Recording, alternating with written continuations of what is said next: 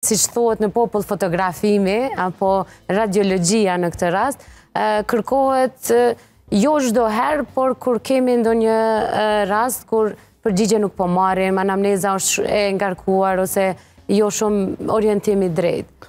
Fillimisht informata duhet të merret për gjendjen aktuale të pacientit, po. të brendisë së trupit, pjesës së caktuar ose gjithë trupit, trupit po. varshmërisht se çfarë faze është Edhe pastaj mjeku kërkon të shohë si ka procesuar rjedha e smundjes, është më mirë ose më keq, është tërhjekur ajo patologji në trup, apo është rritur, ka mhm. përparuar, dhe këto ndihmon radiologjia në përcjelljen e smundjes, por ka edhe efekte tjera të cilat pastaj ndihmojnë në stadifikimin dhe në përcaktimin e terapive, në suksesin, në përcjelljen e suksesit të terapisë specifike, por edhe merr pjesë në terapi. Në anën mhm. tjetër merr pjesë në diagnostikimin e saktë duke marr pjesë nga brendia e trupit, duke marr edhe biopsi, që roli i imazhërisë, i radiologjisë është vazhdimisht duke u rritur, duke u zgjeruar për faktin që në tërësi varet nga zhvillimet teknologjike. Po.